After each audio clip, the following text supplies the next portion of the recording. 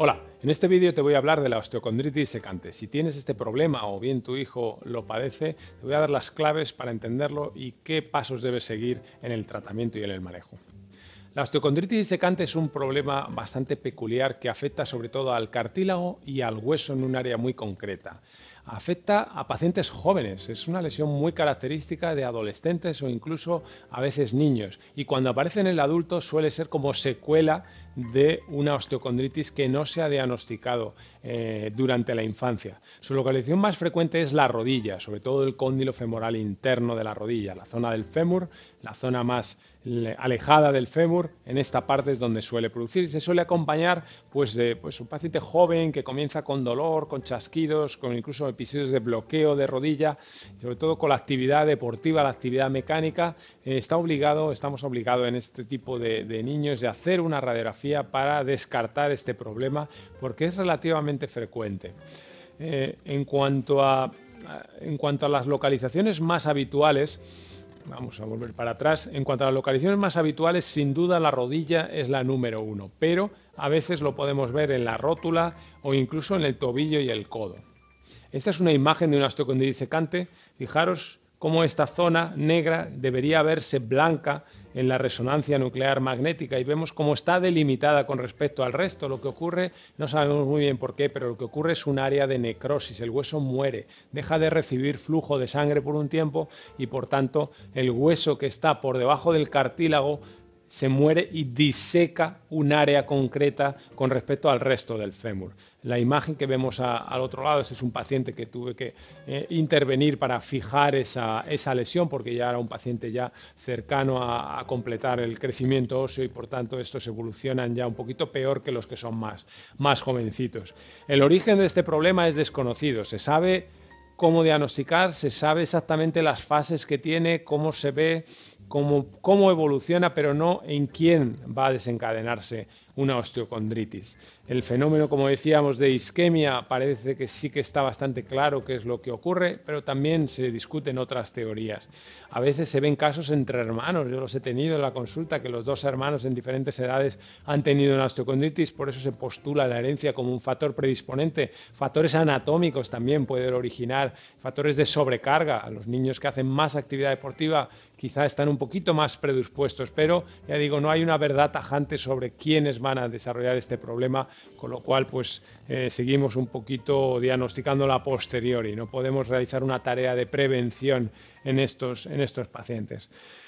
¿Qué síntomas y cómo, qué características tienen estos pacientes? Como decíamos, un paciente joven, generalmente adolescente o bien niños, que tiene un dolor con la actividad física, cuando la osteocondritis es un poquito más importante, un poquito más severa, el fragmento es más grande o ya llega un momento que es un fragmento inestable, podemos tener incluso episodios de derrame, de hinchazón de la rodilla o incluso de bloqueo. Si ese fragmento que hemos visto ahí se desprende y cae dentro de la articulación, eso es como una piedra dentro de nuestra rodilla que va a originar síntomas tipo dolor, bloqueos, derrame, etc. ¿Cómo se realiza el diagnóstico definitivo? Eh, la exploración física es importante, pero nunca es concluyente. El diagnóstico definitivo es mediante radiografía, a menudo con eso es suficiente para verla, y la resonancia también suele ser muy aconsejable para certificar el estadio en que se encuentra la osteocondritis, porque es en función de eso, en función de lo que vamos a hacer el tratamiento. Cuanto más desprendido esté el fragmento del resto del hueso, peor es el pronóstico y seguramente más agresivos vamos a ser a la hora del tratamiento. Los que mejor pronóstico van a tener son los niños más jóvenes. Cuando tienen las fisis abiertas, cuando son niños en una fase de crecimiento muy rápida, los 12, 10, 12 años, la gran mayoría se curan simplemente disminuyendo la actividad deportiva, incluso haciendo un tiempo de descarga. La gran mayoría no precisan un tratamiento. Ahora bien, esos niños ya cercanos a la madurez ósea, las niñas 14 años, 15 que ya prácticamente dejan de crecer o los niños a partir de los 17 y por supuesto ya en los adultos, en esos el pronóstico puede no ser tan favorable y nos vamos a inclinar a menudo si tiene síntomas y la lesión es grande hacia un tratamiento quirúrgico para resolver el problema. En estos niños que hemos decidido, por lo que sea, tratamiento conservador, vamos a limitar la actividad deportiva, vamos a realizar una descarga y vamos a intentar que no pierda movilidad, que no pierda fuerza, disminuir el dolor, todo mediante fisioterapia y rehabilitación. Si bien ese tratamiento conservador ha fracasado o nos encontramos en esa otra situación que hemos dicho, esa lesión que es grande, que está casi desprendida y optamos por un tratamiento quirúrgico, estas son las opciones. Si el, fragmento es grande, pero tiene hueso y tiene, digamos, consistencia para poder fijarlo, eso es lo que vamos a hacer. Se fija con pequeños pines o con pequeños tornillos, se puede hacer abierto o artroscópico, como hemos visto en la imagen del caso anterior, se realizó por vía artroscópica y se fija para que el hueso se vuelva a integrar y forme parte de nuevo del cóndilo femoral. También en ocasiones, si el fragmento ya está desprendido y a lo mejor no es muy grande, podemos limitarnos a alisar la zona, a realizar pequeñas perforaciones para que sangre y crezca nuevo cartílago o una especie de cartílago y como estos pacientes, aunque tengan 17 años y no hayan evolucionado bien, siguen siendo muy jóvenes y tienen más potencial para generar fibrocartílago y pueden llegar a estar asintomáticos simplemente eh, quitándoles el fragmento y haciendo estos tratamientos. ¿Para quién reservamos estos tratamientos? El trasplante osteocondral, el trasplante de condrocitos, que es la otra opción. O sea, lo que es coger hueso de un donante, de un cadáver, de un donante hueso fresco con cartílago e implantarlo en la zona del defecto. Pues bien, esto va a ser el tratamiento último para los casos más severos. O bien pacientes que no han ido bien con ningún tratamiento, ni siquiera el quirúrgico, para esto vamos a reservar, o bien casos ya de osteocondritis del adulto con defectos muy grandes en los que quizá estas otras técnicas de alisar o de fijar el fragmento pues no, no ha lugar. Esto va a depender, por supuesto, del cirujano, no es algo en lo que el paciente pueda opinar. El paciente lo que sí tenemos que intentar que entiendas tu problema, para que el cirujano te pueda hacer llegar la información que él tiene y su experiencia para que tú tomes una decisión.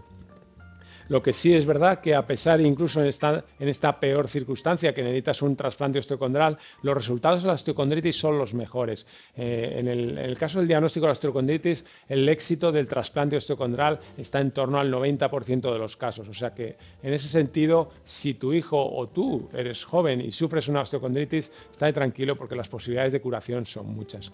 Aquí tenemos un pequeño vídeo que corresponde a un tratamiento en la lesión condral. Vemos cómo después de realizar un tratamiento sobre el cartílago, en este caso poner un cilindro del propio paciente, una mosaicoplastia, vemos cómo pasa de estar el cartílago, eh, podemos volver un poquito hacia atrás, otra vez al 30 y lo vemos de nuevo, el segundo 30, este es cartílago una vez tratado, fijaros que prácticamente es indistinguible y este era el tratamiento, el, cartílago antes de la lesión. Vemos cómo eh, podemos hundir el cartílago con facilidad. Muchas gracias, Sergio. Podemos hundir nuestro, nuestros instrumentos con facilidad. Eso es un cartílago dañado, un cartílago claramente patológico y que va a generar dolor. El tratamiento de la osteocondritis, como hemos dicho, se puede hacer por vía artroscópica si no son lesiones muy grandes o por vía abierta si hay que poner fragmentos osteocondrales eh, grandes. Pero, insisto, la, la, mayoría de los pacientes no necesitan el trasplante osteocondral y o bien van a resolverse con tratamiento conservador o bien van a precisar cirugías artroscópicas menos agresivas. En cuanto a los tiempos de recuperación, el tiempo de recuperación, como siempre en el cartílago, suele ser largo. En cualquiera de los casos hay que esperar o bien que lo que hemos hecho se integre a la rodilla o bien si hemos realizado simplemente un alisado y unas microperforaciones necesitamos que crezca nuevo cartílago. Hay que darle un tiempo de descanso por tanto a la rodilla, mantener una descarga de cuatro a seis semanas y todo eso junto con los meses que ya lleva de pérdida de fuerza, pérdida de movilidad, va a hacer que los tratamientos de cartílago se alargan. Ahora bien, como son pacientes a menudo muy jóvenes, los jóvenes se recuperan de todo con bastante facilidad, pero lo que es la vuelta a la práctica deportiva pues a veces puede tardar de cuatro a seis meses eh, tranquilamente en algunos casos. Bien, hasta aquí todo lo que quería contaros sobre la osteocondritis secante. Espero que hayáis aprendido y que si este es vuestro problema estéis más tranquilos de que existen soluciones y alternativas para cada uno de los estadios. Os espero en el próximo vídeo.